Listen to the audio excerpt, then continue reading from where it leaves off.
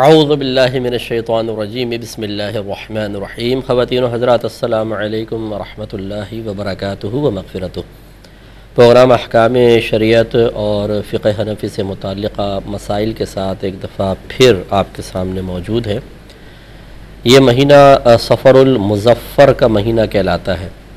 مظفر اسے کہتے ہیں جس کو کامیابی دے دی گئی ہو. اسی سے آپ تھوڑا سا اندازہ کر سکتے ہیں کہ جب سفر کے مہینے کو مظفر قرار دیا جاتا ہے، تو یہ مہینہ کوئی منحوس مہینہ نہیں ہے، یہ مہینہ کوئی بلاؤں، آفتوں یا مصیبتوں کے نزول کا مہینہ نہیں ہے۔ بعض ہمارے بھائی بہن، بلکہ بعض نہیں، ہمارے مسلمانوں کی اکثریت جو قرآن و حدیث سے بہت زیادہ دور ہیں، گھر میں قرآن ضرور موجود ہے، لیکن ترجمہ تفسیر کے ساتھ پڑھنے کی سال ہر سال سے توفیق حاصل نہیں۔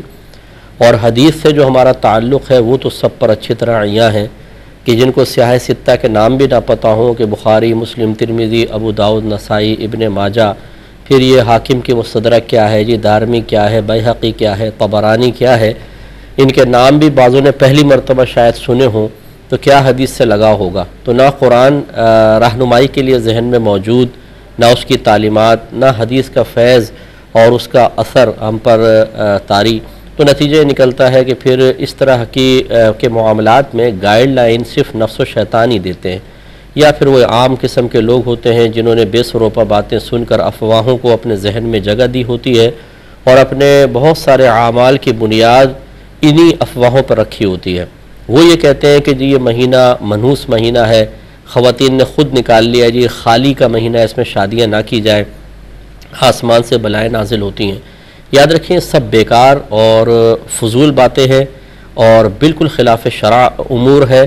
یہ مہینہ بھی دیگر گیارہ مہینوں کی طرح اپنے اندر بے شمار برکات رکھے ہوئے ہے اس مہینے کو بھی کئی بزرگوں کی پیدائش سے، اسی طریقے سے ان کے وصال سے نسبت حاصل ہے۔ یاد رکھیں، جس تاریخ کو کوئی بزرگ پیدا ہو، وہ بھی باعث برکت تاریخ ہوتی ہے اور جب ان کا وصال ہو تو بہت زیادہ باعث برکت ہوتی ہے۔ کیونکہ جب اللہ تعالیٰ کسی اپنے مقرب بندے کو دنیا میں بھیجنا چاہے، تو دنیا تو علائشوں کی جگہ ہے، آزمائش کا گھر ہے، تب بھی وہ تاریخ بابرکت ہو جائے اور جب اسے اپنی بارگاہ بےکس پناہ میں واپس بلائے، اسے اپنے رحمت کے مقام پر بلائے، تو یقینی سی بات ہے کہ وہ تاریخ بدرجہ اولا پہلی پیدائش کی تاریخ سے بھی بہت اچھی ہوگی۔ تو اسی لیے وصال کی تاریخیں جو ہیں یہ وصال کے جو ایام ہوتے ہیں، یا مہینے ہوتے ہیں، بہت ہی بابرکت ہوتے ہیں۔ تو اب یہ سفر المظفر کے مہینے میں آپ اگر تاریخ اٹھا کر دیکھ لیں، بے شمار بزرگ پیدا ہوئے، بے شمار فوت ہوئے ہوں گے۔ بہت سارے بہترین واقعات اس مہینے میں ہوئے ہوں گے۔ تو یہ مہینہ باعث برکت مہینہ ہے، کوئی برا مہینہ نہیں، کوئی خالی کا مہینہ نہیں۔ بلکہ نبی کریم صلی اللہ علیہ وسلم کے دور میں بعض مشرقین کا یہ خیال تھا کہ اس مہینے میں آسمان سے بلائیں نازل ہوتی ہیں۔ تو نبی کریم صلی اللہ علیہ وسلم نے اسی لیے ولا سفر کے الفاظ بیان فرمائے کہ سفر کا مہینہ کچھ بھی نہیں ہے۔ یعنی یہ جو آپ توہم پرستی میں مبتلا ہیں، اس کو دور کریں۔ اسی طرح تیرہ تاریخ کو منحوس سمجھا جاتا ہے اور اس مہینے میں شادی نہیں کی جاتی، یہ سب دقیانوسی باتیں ہیں۔ ایک کامل الایمان مسلمان کے لیے شرعن بالکل درست نہیں ہے کہ وہ اس قسم کے توہم پرستی کے پیچھے چلے جس کی کوئی شرع دلیل اس کے پاس نہ ہو۔ جب میں لاہور میں زیر تعلیم تھا تو سفر المظفر کے آخری بدھ کو بہت سارے لوگوں کو باغوں کی طرف جاتے دیکھا وتھ فیملی بچوں کے ساتھ جا رہے ہیں۔ معلوم کیا تو پتہ چلا کہ جی نبی کریم صلی اللہ علیہ وسلم کو اللہ تبارک و تعالی نے اس دن صحت سے نوازا تھا۔ آپ بیمار تھے تو سرکار باغ میں گئے تھے۔ اس سنت کو پورا کرنے کے لیے ہم جا رہے ہیں۔ اب وہ چونکہ میرا زبان طالب علمی کا دور تھا جب میں نے تحقیق کی تو معلوم یہ ہوا کہ سفر کے مہینے کے آخری ایام میں تو نبی کریم صلی اللہ علیہ وسلم کا مرض زور پکڑ گیا تھا۔ کوئی شفا نہیں ہوئی تھی اور اسی طرح کوئی آپ باغ میں نہیں گئے تھے۔ تو اب یہ لوگوں نے اپنے پاس سے بس سنی سنائی بات اور بات وہی ہے، اگر آپ میرا نقطہ سمجھیے کہ جب ذہن میں رہنمائی کے لیے نہ قرآن کی تعلیم موجود ہو، نہ حدیث کا فیض۔ تو پھر اسی قسم کی بے سروپا باتیں انسان کے ذہن میں موجود رہ کر بہت سارے اعمال کی بنیاد کا سبب اور ذریعہ بنتی ہیں۔ اس لیے خدارہ اس سے باہر نکلیں اور اپنی نسلوں کے اندر یہ دقیہ نوسی اور توہم پرستی کا وائرس منتقل نہ کریں۔ ایک کالر ہمارے ساتھ ہے السلام علیکم۔ وعلیکم السلام۔ جی بہن۔ جی میرے دو تین سوال تھے میں نے پوچھنے تھے۔ جی بولیں بولیں۔ جی میں یہ پوچھنا چاہتی ہوں کہ جو لوگ وفات پا جاتے ہیں کیا وہ لوگ پچھلے جو پہلے سے فوت ہو چکے تھے ان سے جا کے ملتے ہیں یا نہیں؟ اور؟ جب جب ان کے اصال ثواب کے لیے ہم لوگ قرآن پاک نوافل خیرات وغیرہ سب کے کرتے ہیں۔ کیا ان کو پتہ چلتا ہے کہ ہمیں کون بھیج رہا ہے اور کہاں سے آ رہے ہیں؟ ان کو پتہ چلتا ہے؟ جی اور؟ جی اور تیسرا سوال یہ کہ اصال ثواب کے لیے کیا پڑھنا چاہیے تاکہ ان کو زیادہ سے زیادہ ثواب اور فائدہ اور سکون ملے اور خوشی حاصل ہو ان کو؟ اور؟ بس یہی میرا سوال جی انشاءاللہ میں عرض کرتا ہوں۔ تو اس لیے ان توہم پرستیوں سے خدا را آپ باہر نکلے، خصوصاً میں اپنی بہنوں سے گزارش کرتا ہوں۔ قرآن پاک میں بے شمار اعمال پر عذابات کا تذکرہ ہے۔ حدیثوں میں بہت سارے اعمال ذکر کیے گئے، جس کے نتیجے میں اگر انسان نافرمانی سے محفوظ نہ رہے تو میدان معاشر میں ذلت، رسوائی، ندامت پچھتاوا اور سخت عذاب، بھوک، پیاس وغیرہ کا ذکر موجود ہے۔ ان میں سے کوئی بھی بات دل پر اثر نہ کرے۔ سری حدیثیں، سری آیات موجود ہوں تب بھی انسان گناہوں کے دلدل میں گرتا ہی چلا جائے۔ اور اس قسم کی باتیں جو افواہیں ہیں جب ہم تک پہنچے تو دل لرز جائے، بدن کانپ جائے اور بڑے بڑے اعمال کی بنیاد کا ذریعہ بن جائے تو سوچئے کہ کیا یہ ایک کامل ایمان والے مومن کا کام ہے یا ایک کمزور ایمان والے انسان کی یہ تمام حرکتیں ہو سکتی ہیں۔ تو نتیجہ نکلے گا کہ ہمارا ایمان بڑا کمزور ہو چکا ہے۔ اللہ کی بات اثر نہ کرے، اللہ کے عذاب کا خوف پیدا نہ ہو۔ نبی کریم صلی اللہ علیہ وسلم کی باتیں دل پر اثر نہ کریں اور ہم اس قسم کی حرکتیں کریں۔ اور یہ توہم پرستی اور اس طرح کی الٹی سیدھی باتیں ہمیں خوف میں مبتلا کر کے بے شمار اعمال کی بنیاد بن جائے، اس پہ ذرا ہمیں توجہ کرنی ہوگی۔ ایک اور مزید کالر ہمارے ساتھ ہیں۔ السلام علیکم۔ السلام علیکم۔ جی وعلیکم السلام۔ مفتی صاحب میرے چند سوالات ہیں۔ پہلا جی۔ سوال یہ ہے کہ ایسا کہنا کیسا ہے کہ اللہ نبی پاک صلی اللہ علیہ وسلم کا ذاکر ہے؟ اللہ درود پڑھتا ہے۔ کسی نے اپنی تقریر کے دوران یہ الفاظ استعمال کیے ہیں تو رہنمائی فرمائیے گا۔ جی۔ اگلا کوشچن یہ ہے کہ نوری مکھڑا تو زلفا نے کالی ہیں۔ کیا یہ شعر نبی پاک علیہ السلام کے بارے میں بولا جا سکتا ہے کہ نہیں کسی نے کہا کہ مکھڑے کا لفظ آقا کریم کے بارے میں استعمال نہیں ہو سکتا۔ جی۔ اگلا کوشچن یہ ہے کہ ہر نماز کو شروع سے آخر تک بلند آواز سے پڑھ لینا جس میں رکوع کی تسبیحات ہو گئی اتحیات و درود شریف تو بلند آواز سے ساری نماز پڑھ لی جائے تو کیا نماز ہو جائے گی کہ نہیں؟ اور میرا اگلا ٹھیک۔ کوشچن یہ ہے کہ گھر میں رکھے نفلی چندہ جمع کرنے والے باکس میں اگر کوئی نابالغ بچہ اپنی جیب خرچی ڈال دے تو کیا گھر والے اس کو راہ خدا میں دے سکتے ہیں کہ نہیں؟ اس حوالے سے رہنمائی فرمائیے گا۔ اور میرا اگلا کوشچن یہ ہے کہ بعض لوگ قبرستان کی زمین پر قبضہ کر کے اپنے مکان اور دکان وغیرہ بنا لیتے ہیں تو قبروں کے نشان تک مٹا دیتے ہیں۔ اس پر اپنی رہائش اختیار کر لیتے ہیں تو اس کی شرعی حیثیت کیا ہے۔ اور میرا آخری کوشچن یہ ہے کہ پاکستانی کرنسی کے مطابق کتنے پیسے چوری کرنے پر ہاتھ کاٹنے کی سزا دی جائے گی۔ جو دنیا میں نہ دی جائے تو آخرت میں اس کا خمیازہ بھگتنا پڑے گا۔ اس کے حوالے سے رہنمائی فرمائیے گا۔ ٹھیک۔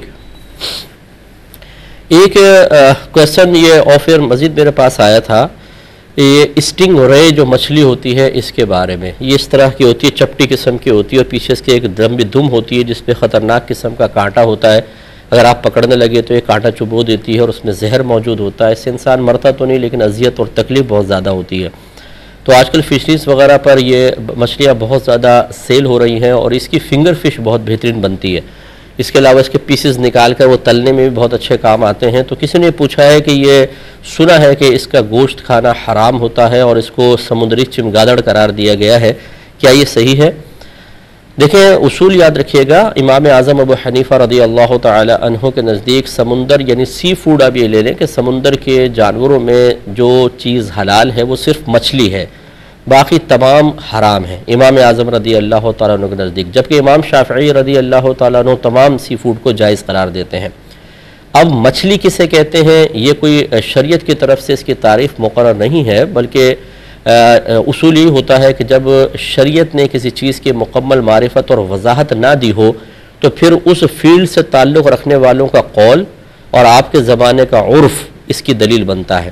چنانچہ اگر مچھیرے اس کو مچھلی قرار دیں یہ کسی بھی چیز کو مچھلی قرار دیں، یا آپ کے شہر میں، آپ کے محلے میں، آپ کے علاقے میں اسے مچھلی ہی قرار دیا جا رہا ہو، تو وہ مچھلی ہے۔ اور اسے غیر مچھلی کہیں تو غیر مچھلی ہے۔ اب اسٹنگ رے کو کوئی بھی ایسا نہیں ہے کہ میں نے بہت ڈاکیومنٹریز بھی دیکھی ہیں، مجھے بہت شوق ہے اس طرح کی چیزیں دیکھنے کا کہ کسی نے اس کو فش کے علاوہ کچھ اور قرار دیا ہو۔ تو یہ باقاعدہ مچھلی ہے۔ اب مچھلی جب ہے تو اس کا کھانا بالکل حلال ہے۔ آپ اس کے فنگر فش بنا کر کھائیں، ویسے پیسز کر کے کھائیں، کیسے بھی تل کر کھائیں، سالن بنائیں، شرعی لحاظ سے بالکل جائز ہے اور اس کے، اس کا سیل کرنا جب جائز ہے تو اس کو بیچنا، اس کا خریدنا بھی بالکل طیب اور حلال ہے۔ بلکہ میں دائرہ ادب میں رہ کر ایک گزارش یہ کرتا ہوں کہ جس چیز کو اللہ تبارک و تعالیٰ اور اس کے رسول کریم صلی اللہ علیہ وسلم نے طیب اور حلال قرار دیا ہو، اسے حرام کہنا بہت بڑا گناہ کبیرہ ہے۔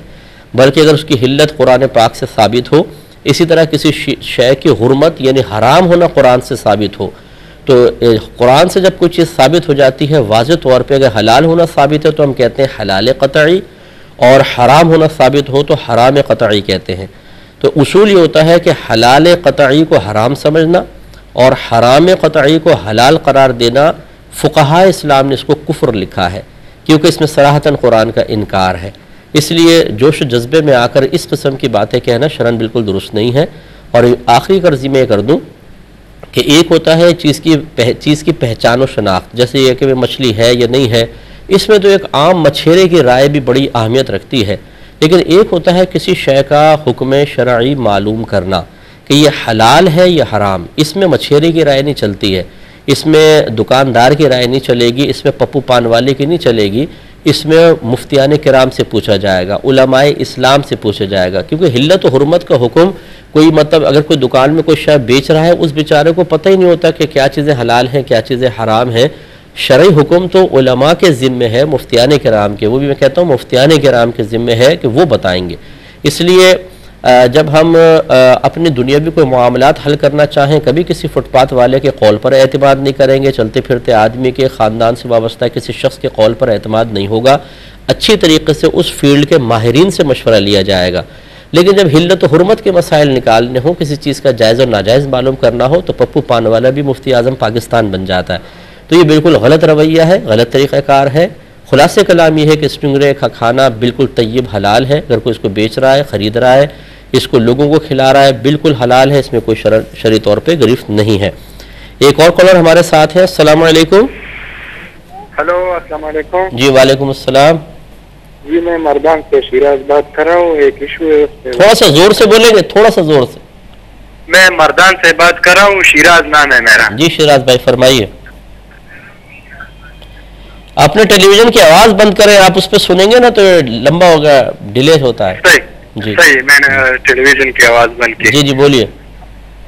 تو ایک بند ہے اور وہ کہے کہ میں نماز نہیں پڑھوں گا اور وہ قسم اٹھا لے۔ جی۔ تو وہ یہ جائز ہے کہ نماز پہ قسم اٹھ۔ جی جی ٹھیک ہے۔ اور؟ ایک اور کالر ہمارے ساتھ ہے السلام علیکم۔ ہیلو؟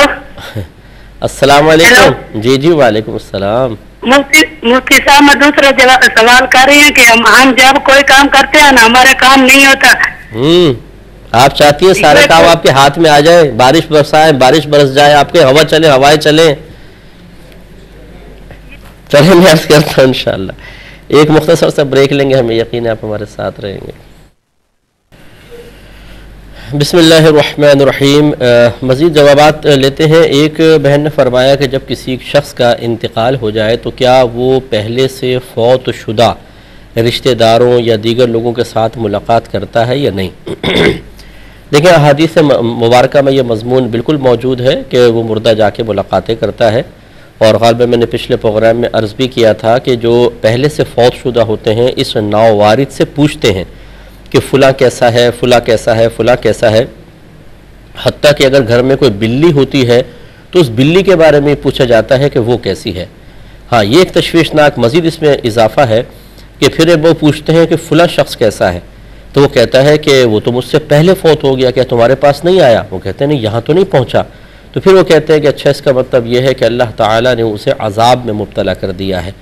تو اس سے معلوم ہوا کہ یہ جو ملاقاتیں ہیں اور یہ ایک طرح کی روحانی آزادی یہ نیک لوگوں کے ساتھ خاص ہوگی یا جن کو اللہ تبارک اللہ توفیق دے، کیونکہ جس کی روح عذاب میں مبتلا ہو، وہ کہاں جا کے ملاقاتیں کرے اور کیا باتیں کرے گا؟ تو یہ نیک لوگوں کے ساتھ ہوگا۔ گناہ گار قسم کے جو افراد ہیں، وہ جو اپنے گناہوں کے عذاب میں مبتلا ہوں، وہ مقید ہوں گے۔ اور یہ ہو سکتا ہے کہ پھر اللہ تبارک و تعالیٰ کرم فرمائے اپنے کرم فضل محض اپنے فضل و کرم سے، نبی کریم صلی اللہ علیہ وسلم کی نگاہ عنایت سے، یا اس کے جو رشتہ دار ہیں، ان کی دعائیں بخشش و مغفرت کے صدقے میں اللہ تعالیٰ اس کو بخش دے، تو پھر وہ جا کر ان سے ملاقات ضرور کر لے گا۔ یہ کہتی ہے کہ ہم جو یہ قرآن پاک وغیرہ پڑھتے ہیں یا خیرات کرتے ہیں اور نیت یہ ہوتی ہے کہ اس کا ثواب فلاں مردے کو پہنچ جائے تو کیا اس مردے کو پتہ چلتا ہے کہ ثواب آیا ہے اور یہ بھی پتہ چلتا ہے کہ کس نے بھیجا ہے؟ تو جی ہاں بالکل یہ موجود ہے یہ بھی مطلب مضمون موجود ہے۔ شرح الصدور بشرح حال الموت والقبور میں علامہ جلال الدین سیوتی صاحب رحمۃ اللہ علیہ نے ایک حدیث نقل کی ہے کہ جب کوئی کسی کو ایصال ثواب کرتا ہے تو وہ ایک نورانی تھال میں رکھ کر اس مردے کے سامنے پیش کیا جاتا ہے اور باقاعدہ بتایا جاتا ہے کہ یہ فلاں بن فلاں کا وہ تحفہ ہے جو اس نے تجھے بھیجا ہے۔ تو اس پر اس کا دل خوش ہوتا ہے۔ اور ایک روایت میں نبی کریم صلی اللہ علیہ وسلم نے شاید فرمایا کہ مردے اس طرح کا ثواب حاصل کر کے ویسے ہی خوش ہوتے ہیں جسے زندہ کسی کو کوئی تحفہ دیتے ہیں تو وہ خوش ہوتا ہے۔ تو بالکل اس تک پہنچے گا اور آپ کا اور آپ کے والد کا نام بھی اس کے سامنے ذکر کیا جائے گا۔ اس اعتبار سے اس کو معلوم ہوگا کون میرے پاس کیا بھیج رہا ہے۔ ایک انہوں نے کہا کہ زیادہ بہتر کس چیز کا ثواب ایسال کرنا ہے وہ عمل بتا دیں۔ دیکھیں، سب سے پہلے تو اخلاص ضروری ہوتا ہے۔ کہ اللہ تبارک و یہ ہمیشہ یاد رکھیں کہ جب بھی آپ کو ایسال ثواب کرنے لگے، وہ مردے کے لیے آپ نہ پڑھیں، اللہ کے لیے پڑھیں۔ یعنی رضاء الہی مقصود ہو، ثواب کا حصول مقصود ہو۔ بس صرف اللہ ہی پیش نظر ہونا چاہیے۔ اس کے بعد آپ حسن زن قائم کریں کہ اللہ تبارک و تعالیٰ نے میری عبادت کو قبول کر لیا ہوگا اور اس پر اب ثواب کا ترتب بھی ہوا ہوگا۔ پھر آپ اللہ کی بارگاہ میں دعا کریں کہ اللہ تعالیٰ اس اس میرے نیک عمل کو قبول فرما لے اور اس کا جو ثواب تو نے مجھے عطا فرمایا، وہ میں نبی کریم صلی اللہ علیہ وسلم کی خدمت اقدس میں اور آپ کے وسیلے سے حضرت آدم علیہ السلاۃ والسلام سے لے کر آج تک جتنے مسلمان دنیا سے پردہ فرما چکے، دنیا میں موجود ہے، قیامت تک آئیں گے، سب کے نام اعمال میں منتقل فرما دے۔ یاد رکھیں، سب کو ملے گا اور مکمل مکمل ملے گا، ٹوٹ ٹوٹ کے نہیں ملے گا۔ ہم بخل کرتے ہیں، چاچا کو مل جائے، تایا کو، دادا کو، ابا کو، یہ بھی کوئی غلط نہیں کہہ رہا ہوں، لیکن بہتر ہے کہ سب کو کرے۔ تو سب سے پہلے تو اخلاص بہت ضروری ہوتا ہے۔ اس کے بعد میں چونکہ ایک علمی فیلڈ سے وابستہ ہوں اور میں اس کی اہمیت کو بہت اچھی طرح جانتا ہوں اور میں اس پر کوئی ہمارے ساتھ مناظرہ کر بھی نہیں سکتا، انشاءاللہ نہ کرنے کی ضرورت کرے گا کہ علم سے زیادہ انسان کے لیے سریع الاثر قبولیت کے اعتبار سے اللہ کی بارگاہ میں مقبول اور مقرب ہونے کے اعتبار سے کوئی شے نہیں ہے۔ لہٰذا میں یہ اکثر گزارش کرتا ہوں کہ آپ اگر کوئی اچھا دینی طالب علم ہے جو واقعی اخلاص کے ساتھ علم سیکھ رہا ہو اور وہ اچھے انداز سے دین کی خدمت کا جذبہ بھی رکھتا ہو، آپ اس کو عالم بنا دیں، مفتی بنا دیں، اس کا خرچہ اٹھا لیں اور اس کا ثواب فلاں کو دیں، تو یہ بہترین ثواب جاریہ ہے، بہت بڑا ثواب جاریہ ہے۔ اور اس کے علاوہ پھر آپ مسجد بنوا سکتے ہیں، مسجد کی تعمیر میں حصہ لے سکتے ہیں، قرآن پاک مسجد میں رکھوا دیں، اس میں لوگ پڑھ لیں گے، کوئی سبیل بنا دیں جس سے لوگ پانی پیتے رہیں گے تو ان کو ثواب ملتا رہے گا۔ لیکن جو بہت بڑا ثواب جاریہ ہے، جو آپ نے سب سے بہتر معلوم کیا، تو میرے نزدیک بہرحال علم کی خدمت ایک بہترین نیک عمل ہے اور اس کا کثیر ثواب ہے اور اگر اس کو ثواب جاریہ بنا لیا جائے، تو پھر یہ آپ کی نسلوں تک کو رنگ دے گا انشاءاللہ۔ ایک ہی کہتے ہیں کہ کسی مقرر نے تقریر کرتے ہوئے کہا کہ اللہ تبارک و تعالیٰ بھی نبی کریم صلی اللہ علیہ وسلم کا ذاکر ہے یعنی ذکر کرنے والا ہے، کیونکہ وہ درود پاک بھیجتا ہے۔ تو اس لیے آپ بھی کریں۔ دیکھیں اس میں ایک جہت سے تھوڑی سی بات صحیح ہے اور ایک جہت سے غلط بات ہے۔ جب ہم درود کی نسبت اللہ تبارک و تعالیٰ کی طرف کرتے ہیں کہ اللہ درود بھیجتا ہے، تو ایسا نہیں ہے کہ معذ اللہ جسے ہم کہہ رہے ہیں صلی اللہ علیہ وسلم یا صلی اللہ علیہ نبی الامی و علیہ صلی اللہ علیہ وسلم، اس طرح اللہ تبارک و تعالیٰ پڑھ رہا ہوگا۔ وہ پڑھنے سے پاک و صاف ہے۔ اللہ تعالیٰ کی طرف جب درود کی نسبت کی جائے تو اس سے مراد ہوتا ہے انزال رحمت۔ یعنی ہم یوں کہہ رہے ہوتے ہیں کہ اللہ تعالیٰ اپنے حبیب پر رحمت نازل فرماتا ہے۔ اس کو درود سے تعبیر کرتے ہیں۔ اور جب ہماری طرف درود کی نسبت ہو کہ ہم درود پڑھتے ہیں تو اب باقاعدہ پڑھنے کا تصور بھی ہوگا۔ اور اس کا مطلب ہوتا ہے رحمت کی دعا کرنا۔ یعنی صلی اللہ علیہ وسلم کا مطلب یہ ہوگا کہ اللہ تعالیٰ نبی، ان نبی کریم صلی اللہ علیہ وسلم پر رحمت اور سلامتی نازل فرما۔ اور پھر جو اس کے علاوہ اگر فرشتوں کے لیے یا دیگر چیزوں کے لیے درود کی نسبت کریں کہ درخت بھی درود پڑھتے ہیں، فرشتے درود پڑھتے ہیں، اس کا مطلب ہوتا ہے نبی کریم صلی اللہ علیہ وسلم کے لیے دعائے بخشش و مغفرت کرنا۔ اور یہ اس لیے نہیں ہے کہ نبی کریم صلی اللہ علیہ وسلم کی مغفرت نہیں ہے، وہ تو مغفرت شدہ ہے، بلکہ ان کے قدموں کی برکت سے کائرات میں مغفرتیں تقسیم ہو رہی ہیں۔ بلکہ یہ ان کے لیے بلندی دراجات کا ایک وسیلہ اور ذریعہ بنا دیا گیا۔ کہ جو چیز پہلے ہی نبی کریم صلی اللہ علیہ وسلم کو حاصل ہے، اس کے لیے مزید دعا کرو۔ انہیں تو کوئی اس کا بظاہر ایسا فائدہ نہیں ہے۔ ہاں مزید رحمتوں کو نزول تو ہے ہی ہے، لیکن اس کا فائدہ تمہیں ہوگا۔ تو لہٰذا یہ یہ کہنا صحیح نہیں ہے کہ جی اللہ تعالیٰ ذاکر اس اعتبار سے وہ درود پاک پڑھ رہا ہے، ہم بھی پڑھ رہے ہیں۔ ہاں یوں آپ کہہ سکتے ہیں کہ اللہ تعالیٰ نے بکثرت اپنے حبیب صلی اللہ علیہ وسلم کا ذکر فرمایا ہے۔ فرشتوں کے سامنے وہ ذکر کرتا ہے۔ قرآن پاک میں اللہ تعالیٰ نے نبی کا ذکر فرمایا۔ اس اعتبار سے ذاکر کہا جائے تو اس میں کوئی حرج بھی نہیں ہے۔ ایک یہ کہتے ہیں کہ یہ نوری مکھڑا نبی کریم صلی اللہ علیہ وسلم کے لفظ مکھڑا کہنا کیسا، اس کی شرعی حیثیت کیا ہے؟ دیکھیں مسئلہ یہ ہے کہ یہ مکھڑا اصل میں تصغیر کہہ لیجیے۔ آپ اس کو تصغیر کا مطلب یہ ہوتا ہے کہ ایک اسم کو، ایک ناؤن کو ایک دوسرے ناؤن سے اس لیے بنانا تاکہ اظہار نفرت ہو، اظہار محبت ہو، پیار کا اظہار ہو یا کسی کی عظمت کو ظاہر کیا جائے۔ تو اسے کہتے ہیں اس میں تصغیر۔ اس کا مطلب ہے کہ جب تصغیر بناتے ہیں تو نیتیں مختلف ہو سکتی ہیں۔ جیسے قرش ایک سمندری جانور تھا، جس کو عرب لوگ سمجھتے تھے کہ وہ تمام سمندری جانوروں پر غالب ہے۔ اس سے اس میں تصغیر بنا قریش اور وہ نبی کریم صلی اللہ علیہ وسلم کے قبیلے کا نام ہے قریش اور یہ قریش اس میں تصغیر ہے اس کا مطلب ہے کہ اس میں تصغیر میں ہمیشہ کوئی برا مفہوم نہیں ہے اس میں عظمت کی وجہ سے ایسا تھا ایک اس میں تحقیر کا پہلو بھی ہے جیسے عبد مانے غلام، عبید مانے ایک چھوٹا اور حقیر سا غلام تو یہ اس میں حقارت والا پہلو ہے بعض اوقات تصغیر بنائی جاتی ہے محبت کے لیے، پیار کے لیے۔ جیسے نبی کریم صلی اللہ علیہ وسلم نے حضرت ابو حریرہ رضی اللہ تعالیٰ عنہ کی آستین میں بلی کا ایک بچہ دیکھا تو آپ نے اسے انہیں پیار سے فرمایا، اے ابو حریرہ اب یہ حرہ بلی کو کہتے ہیں حرائی راہ جو ہے، یہ تصغیر واز نے کہا ہے کہ یہ ہے چھوٹی بلی کو کہتے ہیں اور یہ پیار، محبت میں سرکار نے استعمال فرمایا۔ اس کا مطلب یہ ہوا کہ اس میں تصغیر ہمیشہ حقارت کے لیے نہیں ہوتا۔ انسان کی نیت پر موقوف ہے کہ وہ کس لیے اس اسم کو بنا کر دوسرے کے لیے استعمال کر رہا ہے۔ اس لیے یہ مکھڑا جو ہے، یہ پیار، محبت میں، پیار میں نبی کریم صلی اللہ علیہ وسلم کے لیے استعمال کیا جاتا ہے اور بکثرت استعمال ہوا ہے۔ لہٰذا اس میں کوئی حرج نہیں ہے۔ اسی طرح نبی کریم صلی اللہ علیہ وسلم کو کملی والا کہنا، تو یہ کملی کا لفظ خود ہمارے اکابرین نے استعمال کیا ہے کتابوں میں۔ اس لیے اس کو کمبل کی کہتے ہیں تصغیر ہے جی کملی۔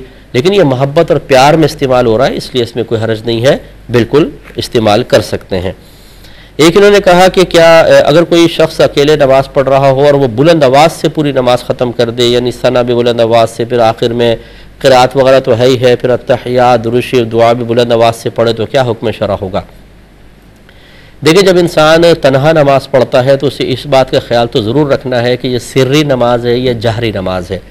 جہری نمازیں تین ہوتی ہیں، فجر ہے، مغرب، عشاء اور سری دو ہیں، ظہر اور عصر۔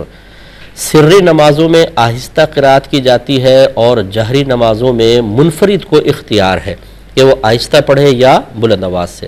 لہذا اگر سری نماز میں کسی نے الحم شریف یا صورت کو اتنی آواز سے پڑھا کہ اگر اطراف میں چار پانچ چھ لوگ ادھر اور چار پانچ چھ لوگ ادھر ہوتے، ان تک آرام سے آواز پہنچ جاتی، تو پھر اس نے سری کو جہری بنایا اور یہ شرن درست نہیں ہے۔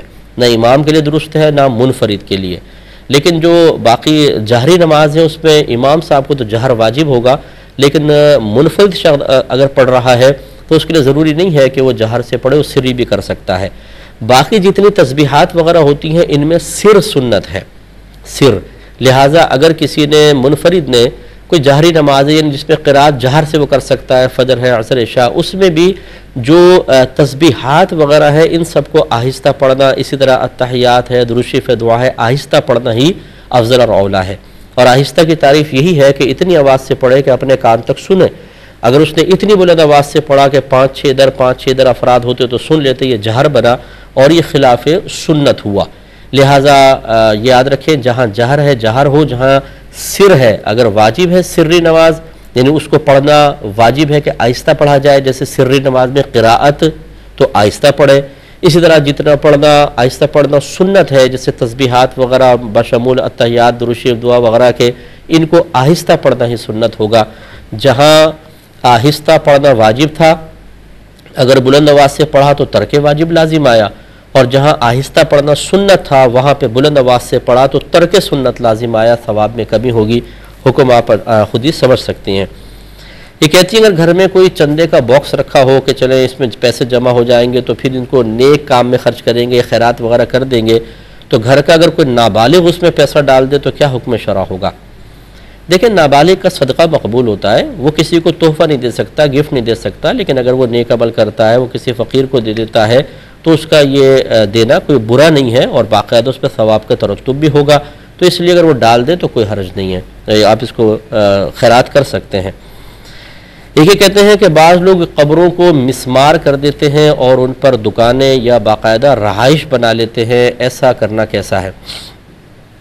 دیکھیں، ہمارا مذہب اسلام جس طرح ایک زندہ مسلمان کے احترام کا حکم دیتا ہے کہ نبی کریم صلی اللہ علیہ وسلم نے اپنے آخری خطبے میں ارشاد فرمایا کہ ایک مسلمان پر دوسرے مسلمان کی جان، مال اور عزت و آبرو کو اللہ نے حرام فرما دیا ہے۔ تو اچھی طرح یاد رکھیں کہ زندہ آدمی کا یہ احترام ہے۔ لیکن نبی کریم صلی اللہ علیہ وسلم نے مرنے کے بعد بھی اس کے احترام کا حکم دیا، حتیٰ کہ اس سے تعلق رکھنے والی چیز یعنی قبر کے احترام کا حکم ہے۔ چنانچہ نبی کریم صلی اللہ علیہ وسلم نے ایک شخص کو دیکھا کہ وہ قبر سے ٹیک لگا کر بیٹھے ہوئے تھے تو سرکار نے فرمایا کہ آپ ایسا نہ کریں، نہ آپ قبر والے کو تکلیف پہنچائے اور نہ وہ آپ کو تکلیف پہنچائے۔ اس پہ مزید کلام کرتے ہیں انشاءاللہ ایک مختصر سے بریک کے بعد۔ بسم اللہ الرحمن الرحیم۔ تو خلاصہ کلام یہ ہوا کہ سوال یہ تھا کہ بعض لوگ قبروں کو مسمار کر کے ان پہ رہائش بنا لیتے ہیں تو کیا حکم شرع ہوگا؟ اس کا جواب میں آپ کی خدمت میں عرض کر رہا تھا کہ نبی کریم صلی اللہ علیہ وسلم نے قبور کے احترام کا حکم دیا ہے اور یہ ایک عام شخص کی قبر کا احترام کا حکم ہے۔ پھر جیسے جیسے دراجات بلند ہوتے جاتے ہیں، مثلا کوئی حافظ صاحب ہیں ان کی قبر کا اور زیادہ ادب ہے، استاد ہے، اسی طرح عالم دین ہیں، پھر مفتیان کرام ہیں، پھر اولیاء اعظام ہیں، پھر انبیاء علیہ السلام ہیں۔ اسی لیے میں آپ کو گزارش کرتا ہوں کہ یہ جو قبروں پر چادر چڑھانے کا ایک رواج اسٹارٹ ہوا تھا یا قبے بنانے کا، اس کی بڑی وجہ یہی تھی۔ اس میں لاجک یہی ہے کہ جب تغیر زمانہ ہوا اور لوگوں کی نگاہوں میں شرعی احکام کی اتنی اہمیت نہ رہی اور ان کے خلاف عمل عام ہونا شروع ہوا تو دیکھا گیا کہ عموماً قبروں کی بے حرمتیاں ہو رہی ہیں۔ تو یہ فیصلہ کیا گیا کہ کم از کم وہ قبریں کہ جن کا تعلق اللہ کے کسی نیک بندے سے ہے، مقرب سے ہے، اس میں اور ایک عام قبر میں ماں بہل امتیاز قائم کیا جائے۔ یعنی کوئی ایسا فرق قائم کر دیا جائے کہ کم از کم دیکھنے میں یہ تو پتہ چل جائے کہ یہ عام آدمی کی قبر ہے اور یہ کسی اللہ کے نیک اور مقرب بندے کی قبر ہے۔ کہ لوگ اگر بے حرمتی سے باز نہ آئیں تو کم از کم کم از کم ان عظیم قبروں کی بے حرمتی تو نہ ہو۔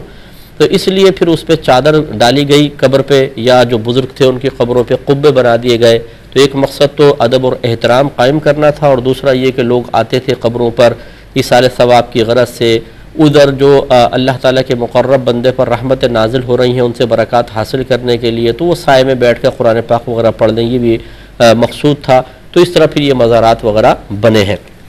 تو اب خلاصہ کرام یہ ہے کہ جب اتنے احترام کا حکم ہو تو پھر خود سوچ لیجیے کہ ان قبروں کو مسمار کر دینا، ان قبروں پہ چلنا، ان قبروں پہ روڈ بنا دینا یا قبرستان میں ان کو پلین کر کے ایک راستہ بنا لینا کہ آپ ایک دروازے سے نکلیں، دوسرے دروازے سے باہر چلے جائیں۔ اور اسی طرح ان پہ پھر رہائش قائم کرنا، یہ سب کا سب علماء نے حرام لکھا ہے، سخت حرام ہے کہ اس طرح بہت ہی بڑی بے ادبی اور بے حرمتی ہے۔ اور وہ مردہ جیسے کہ حدیث میں نے عرض کی، سرکار نے فرمایا کہ نہ تم قبر والے کو تکلیف پہنچاؤ اور نہ قبر والا تمہیں تکلیف پہنچائے۔ اس کی شرح علماء نے لکھی ہے کہ آپ تو اس کو ٹیک لگا کر اس کے ادب اور احترام کے خلاف کر کے اس کو تکلیف پہنچا رہے ہیں اور اس کی طرف سے تکلیف یہاں نہیں ہوگی، میدان معاشر میں ہوگی کہ وہ اللہ تعالیٰ کی بارگاہ میں فریاد کرے گا کہ اللہ تعالیٰ اس نے مجھے اذیت دی تھی، تو اللہ تعالیٰ اس کا حق دلوائے گا۔ اس کا مطلب یہ ہوا کہ جو مردوں، جو قبروں کو مسمار کر کے ان پہ بیٹھے ہوئے ہیں، دکانیں چلا رہے گھر قائم کر لیے ہیں، یہ آخرت کے اندر کس قدر سخت حساب و کتاب دینے کے لیے اپنے آپ کو تیار کر رہے ہیں، یہ ان کو مرنے کے بعد ہی پتہ چلے گا۔ اس لیے ایسا اگر کوئی رستہ بن چکا ہو کہ قبروں کو مسمار کر کے لوگ اس پہ چل رہے ہوں، تو اس پہ چلنا بھی علماء نے حرام قرار دیا ہے کہ بالکل دور بھاگیں اس سے۔ اس پہ نہ چلیں، چاہے لمبا آپ کو راستہ طے کر کے آنا پڑ جائے، لیکن اس پہ نہ چلیں۔ اگر آپ کو کنفرم معلوم ہے تو۔ بعض اوقات لوگ افواہیں بھی چھوڑ دیتے ہیں، بھی یہاں شاید پہلے قبریں تھی ایسا نہیں۔ کنفرم پتہ ہے تو بالکل نہ کریں۔ اور اگر کوئی افواہ بھی ہو لیکن قریبی مقامی لوگ بتا رہے ہیں، تو احتیاط کا تقاضا یہ ہے کہ چلے دور سے تھوڑا چلے جائیں، لیکن بے حرمت نہیں ہونی چاہیے۔ یہ کہ کہتی ہیں کہ پاکستانی کرنسی کتنی مقدار میں چوری کی جائے کہ شرعی لحاظ سے ہاتھ کٹنے کا حکم ہوگا۔ دیکھیں، چوری تو چاہے ایک روپے کی بھی ہو، وہ شرائن چوری کہلاتی ہے، لیکن جس چوری پر حد قائم ہوتی ہے، وہ دس دراہم ہے۔ یہ کم از کم دس دراہم کا مال چوری چوری کیا گیا ہو۔ اور یہ اس کے ساتھ اور بہت ساری شرائط بھی ہے لیکن آپ نے چونکہ مال کی مقدار کا پوچھا ہے تو دس درہم۔ جس کو آج کل اگر آپ حساب کتاب بنائے تو ڈیڑھ سے دو ہزار روپے تقریباً میرے خیال میں بنیں گے۔ تو اتنی مالیت کا اگر کوئی مال چراتا ہے تو شرعی لحاظ سے وہ قابل گرفت ہے اور حاکم اسلام چاہے تو اس کا ہاتھ کاٹ سکتا ہے۔ لیکن اب چونکہ یہ سزائیں یہاں پر جاری نہیں ہو رہی ہیں، تو بہرحال معلومات کے اعتبار سے تو آپ حاصل کر سکتے ہیں، لیکن عمل اسی کوئی شکل نظر نہیں آئے گی۔ ایک یہ کہتے ہیں کہ ایک شخص نے یہ قسم کھائی کہ خدا کی قسم مثلا میں نماز نہیں پڑھوں گا، تو کیا ایسا کہنا اس کا جائز تھا؟ تو یقیناً جائز تو نہیں ہے، یہ تو بہت گناہ کا کام کیا اس نے کہ اللہ تعالیٰ کے محترم نام کو ذکر کر کے اور ایک حرام کام کی خواہش کا اظہار کیا ہے۔ اس فعل پر اس کو اللہ تعالیٰ کی بارگاہ میں توبہ کرنی ہوگی۔ اب وہ کرے کیا؟ نبی کریم صلی اللہ علیہ وسلم نے اس قسم کے معاملات میں تعلیم یہ دی ہے کہ اگر کوئی کسی ایسی چیز کی قسم کھا لے کہ بہتری اس قسم جس فعل پر کھائی ہے، جس کام پر بہتری اس کے مخالف چیز میں ہے تو اسے چاہیے کہ اپنی قسم کو توڑ دے اور اس کا کفارہ ادا کرے۔ تو ان پر فرض ہے کہ اپنی قسم کو توڑے، کیونکہ نماز فرض ہے اور نماز نہ پڑھنے کی قسم کھانا یہ فی نفسی خود گناہ تھا، تو اللہ کی بارگاہ میں توبہ کریں اور قسم توڑیں اور نماز شروع کریں یعنی نماز پڑھیں گے تو قسم ٹوٹ جائے گی، سمجھ لیں اب اس کا کفارہ ادا کر دیں کفارہ جو ہے، آسان الفاظ میں سمجھ لیں کہ ایک ہزار روپے وہ صدقہ کر دیں کم از کم تین فقراء میں مساکین کے اندر یہ احتیاط ہے کہ تین کے اندر تقریباً اس کو تقسیم کر کے ایک ہزار روپے بانٹ دے کفارے کی نیت سے تو انشاءاللہ کفارہ ادا ہو جائے گا۔ یہ بہن نے کال کرنے کی کوشش کی تھی، وہ کٹ گئی تھی کہ ہم جس بھی کام میں ہاتھ ڈالتے ہیں وہ کام ہوتا نہیں ہے، تو کیا مسئلہ ہے؟ شاید کوئی جادو ٹونا ہے، کیا ہے؟ دیکھیں، یہ ایک نفسیاتی مسئلہ ہو گیا ہے۔ آج کل بہت سارے عاملین ایسے ہیں کہ جو ہر چیز میں جادو ٹونے کے علاوہ کوئی بات کہتے نہیں ہیں۔ ہر چیز میں نظر بد ہے، ہر چیز میں جادو ٹونا ہے، ہر چیز میں بندش۔ میں حالانکہ شدید مخالف ہوں اس کا، لیکن میں سمجھا رہا ہوں کہ ایسے بولتے ہیں جی بندش بندش ہو گئی ہے۔ جس کی وجہ سے ہمیں اتنے وسوسے آتے ہیں اور ہم اتنا ان چیزوں کو نوٹ کرنے لگ جاتے ہیں کہ جو اس قسم کی تعلیم کی روشنی میں ہمیں نظر آ رہی ہوتی ہیں کہ جو مثبت چیزیں ہوتی ہیں وہ بالکل فراموش ہو جاتی ہیں۔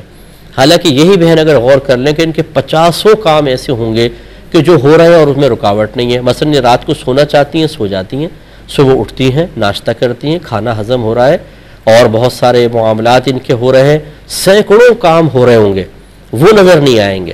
لیکن ایک دو کام جن کو یہ چاہتے ہیں کہ ہو جائے اور نہ ہو تو بولتے ہیں، ہمارا کوئی کام ہو ہی نہیں رہا۔ تو یہ وسوسے سے کیوں آئے ہیں؟ ہم اتنے مطلب نازک مزاج کیوں ہو گئے ہیں؟ ہر چیز کے اندر ہماری ہاں اور مثبت ہی کیوں ہونا چاہیے؟ یہ اس لیے کہ ہم چاہتے ہی نہیں ہیں۔ کہ ہم پر کوئی آزمائش آئے، کوئی فکر آئے۔ ہم اس اور ہماری نظر صرف اور صرف کمی کے اوپر ہوتی ہے۔ محروم محرومی جس چیز کے اندر ہے، اس پر ہماری توجہ ہوتی ہے۔ جو کامیابیاں ہو رہی ہیں اور جو اللہ تبارک و تعالی نے بغیر طلب کے ہمیں نعمت عطا فرمائی، ان کی طرف ہم بالکل متوجہ نہیں ہوتے، تو یہ ناشکرپن غالب آتا ہے۔ تو پہلی بات تو یاد رکھیں کہ دنیا میں آپ کو اس لیے نہیں بھیجا گیا تھا کہ اللہ تعالیٰ آپ کی مرضی کے تابع ہو کر چلے۔ بلکہ اس لیے بھیجا گیا تھا کہ اللہ تعالیٰ کچھ احکام آپ کو دے گا، کچھ آزمائشیں دے گا، اس پر پورے اتریں تو آپ امتحان میں پاس ہوں گے، اس کے بدلے میں جنت ملے گی۔ اب یہ عجیب و غریب صورت حال ہے کہ ہمیں دنیا میں بھیجا ہے امتحان کے لیے اور ہم یہ کہیں کہ ایگزامنر سے یہ کہیں کہ بھائی یہ امتحان وغیرہ میں نہیں دیتا ہوں میں تمہیں کہوں کھڑے ہو جاؤ تو کھڑے ہو جاؤ، بیٹھ جاؤ تو بیٹھ جاؤ، میں کہوں پانی پلاؤ تو پانی پلاؤں، میں کہوں تم کمرے سے باہر چلے جاؤ تو باہر چلے جاؤ، میں کہوں راؤنڈ لگاؤ تو راؤنڈ لگاؤ۔ یہ تو ڈیمانڈ نہیں چلے گی۔ یہ ہمارا ذہن بن چکا ہے کہ ہم چاہتے ہیں کہ اللہ تعالی ہماری مرضی کے تابع ہو جائے۔ جو ہم چاہیں فوراً عطا فرمائے، نہیں دے گا تو ہم باغی ہو جائیں گے، شکوے کریں گے۔ تو میں بہن سے گزارش کرتا ہوں، یہ آپ ہی کے ساتھ نہیں، میرے ساتھ بھی ہے۔ پچاسوں کام ایسے ہوتے ہیں جو نہیں ہو پاتے۔ سینکڑوں کام بغیر محنت کے بھی ہو جاتے ہیں۔ تو ہم جو ہو جاتے ہیں نا، اس پہ نگاہ رکھ کر اللہ کا شکر ادا کرتے ہیں اور جو نہیں ہوتے، ان کو اپنے شامت اعمال تصور کرتے ہیں۔ باقی دنیا آزمائش کا گھر ہے۔ یہاں یہ تمنا کرنا کہ ہمارا ہر کام ہو جائے، نہیں ہوگا۔ اللہ تعالیٰ ہماری مرضی کے تابع نہیں ہوگا، ہمیں اس کے مرضی کے تابع چلنا پڑے گا۔ یہ سب اللہ کی جانب سے ہوتا ہے، آزمائشیں اسی کی طرف سے آتی ہیں، وسیلہ مختلف چیزیں بن سکتی ہیں۔ کوئی انسان، کوئی جانور، کوئی اور طاقت، کوئی دشمن بن سکتا ہے وسیلہ، لیکن حقیقتاً فائل حقیقی اللہ تبارک و تعالیٰ ہے۔ اور اللہ تعالیٰ کی طرف ہی متوجہ رہیں کہ اللہ کی طرف سے آزمائش ہے، تو انشاءاللہ سکون رہے گا۔ اور صبر و سکون سے ہمیں مطلب کام لینا چاہیے، انشاءاللہ کامیابی ضرور ہوگی۔ اسی ضمن میں ایک بات میں اور عرض کر دیتا ہوں کہ بعض لوگ کہتے ہیں، مفتی صاحب، جیسے اب میں بہن پہ نہیں کہہ رہا ہوں، میں ویسی بات کر رہا ہوں، ہمارے گھر میں یہ پریشانی، وہ پریشانی، یوں نہیں ہو رہا، وہ نہیں ہو رہا کام۔ میں کہتا ہوں اچھا یہ بتائیے، آپ نماز تو سب پڑھتے ہوں گے؟ نہیں۔ قرآن پاک تو ترجمہ تفسیر سے پڑھا ہوگا، یہ گھر میں روزانہ تلاوت ہوتی ہوگی؟ نہیں۔ اچھا رمضان کے روزے چند ایک رکھتے ہیں، باقی نہیں رکھتے ہیں۔ اچھا گناہ آپ نہیں کرتے ہوں گے؟ نہیں، گناہ تو سارے کے سارے کر رہے ہیں۔ تو ہر کام ہم کر رہے ہیں غلط قسم کا۔ پھر کہتے ہیں کہ پتہ نہیں گھر میں برکت کیوں نہیں ہوتی، ہمارے کام کیوں نہیں ہوتے؟ یعنی ہم تو اللہ کی کوئی نہ مانے ہم اللہ تعالیٰ کی مرضی پہ نہ چلیں۔ اپنی زندگی کو شریعت کے مطابق نہ بنائیں۔ معذ اللہ، ہم نے یہ کہاں سے اپنا ذہن بنا لیا کہ اللہ تعالیٰ ہماری مرضی کے مطابق چلے؟ ہم اشارہ کریں اور اللہ تعالیٰ فوراً ہمارا کام کر دے۔ بھائی گناہوں سے بچیں، نمازیں پڑھیں، علم سیکھیں، قرآن پاک کی تلاوت کریں، یہ کام ہم کر نہیں رہے، گھر میں برکت کیسے آئے گی؟ اور اس پر پھر بڑے بھولے پن سے یہ کہنا، پتہ نہیں ہم سے کون سی خطا سرزد ہو گئی ہے کہ کام ہی نہیں ہو پا رہے۔ اچھا آپ کو خطا ہی نظر نہیں آ رہی۔ یہ رابعہ بصری آ گئی ہیں یہاں پر اور یہاں خواجہ حسن بصری بیٹھے ہوئے اور ان کو اپنی خطائیں نظر نہیں آ رہی۔ لا حول ولا قوت الا باللہ۔ تو ہماری خطاؤں نے ہمیں اس مقام تک پہنچایا ہے۔ جس گھر میں قرآن کی تلاوت نہ ہو، جہاں درست شریف نہ پڑھا جائے، جہاں حدیث کا درس نہ ہو، جہاں نمازیں نہ پڑھی جائیں، جہاں گالی گلوچ بات بات پہ دی جائے، نہ بڑے کا ادب، نہ چھوٹے کے ساتھ شفقت، جہاں پر علم دین نہ سیکھا جائے۔ آپ یہ سمجھتے ہیں کہ وہاں زمین کھودیں تو پیٹرول نکل جانا چاہیے، وہاں سے تیل کے خزانے نکل جانے چاہیے، سونا نکلنا چاہیے، آسمان سے سونا برسنا چاہیے۔ تھوڑا سا سوچئے، ذرا سمجھنا ہوگا۔ ہم اپنے عمل اور کردار پر بھی توجہ کریں۔ ایک آفر کوشچن آیا تھا کہ کسی نے کہا ہے کہ اگر کسی کی تین بیٹیاں ہوں اور اس کے بعد پھر بیٹا ہو تو یہ صحیح نہیں ہوتا۔ اصل میں ایسے لوگوں کا دماغ صحیح نہیں ہوتا۔ مسئلہ یہ ہے کہ نہ انہوں نے قرآن پڑھا ہے نہ حدیث، وہی میں باتیں عرض کرتا ہوں کہ خدا را علم سیکھے ورنہ اس قسم کی بے سروپا باتیں کر کر کے لوگوں کو پریشان کرتے رہیں گے۔ تین بیٹیاں ہوں، چاہے دس بیٹیاں، ان کے پاس بیٹا بعد بیٹا پیدا ہو، اللہ کی نعمت اور رحمت ہے۔ کوئی سب صحیح ہے، کوئی غلط نہیں ہے۔ اس طرح کی باتیں کرنا بالکل غلط ہوتا ہے۔ ایک بہن کہتی ہے کہ میں وضو کرتی ہوں تو بار بار وضو ٹوٹ جاتا ہے، کیا حکم شرع ہوگا؟ تو بہن اپنی غذاؤں پہ توجہ کریں، اپنی مطلب ایکسرسائز وغیرہ کیا کریں۔ ایسی چیزیں نہ کھائیں جو بادی اشیاء ہیں۔ ان کی سب سے پہلے توجہ کریں، اس کے بعد انشاءاللہ پھر دیکھیں۔ ایسے اس قسم کا کوئی پرابلم نہیں آئے گا۔ اب چونکہ بالکل وقت ختم ہو رہا ہے تو ہم کچھ ایک دو کویشچن تھے اور پھر وہ نیکسٹ پروگرام میں لے لیں گے۔ ای میل ایڈریس چل رہا ہوگا جو بھائی بہن ہمیں میل کرنا چاہیں، اس ایڈریس پہ کر لیں یا مفتی اکمل آس کی مفتی اکمل ڈاٹ نیٹ پر آس کی مام کے آپشن میں جا کر بھی آپ بھیج سکتے ہیں یا مفتی اکمل کیو ٹی وی ٹو والا جو میرا personal E mile I D ہے، اس پر آپ بھیج دیں۔ دیر ہو جائے تو معذرت اور انشاءاللہ بر وقت کوشش کریں گے کہ آپ کو جلدی جواب ملے اب اپنے میزبان کو۔ ہماری کیو ٹی وی کی پوری ٹیم کو اجازت مرحمت فرمائیں۔ آپ ہمارے لیے دعا کیجیے، ہم آپ کے لیے دعا گو ہیں کہ اللہ تعالیٰ مجھے بھی اور آپ پر ہماری نسلوں کو ہر قسم کے توہم پرستی اور افواہوں کے قبول کرنے سے دوری عطا فرمائے، کامل ایمان والا بنائے، دقیانوسی لوگوں اور ان کی صحبت سے محفوظ فرمائے۔ آمین۔ واخر دعوانا ان الحمد للہ رب العالمین۔ میرے ورد لب ہے نبی نبی۔ میرا دل مقام حبیب ہے۔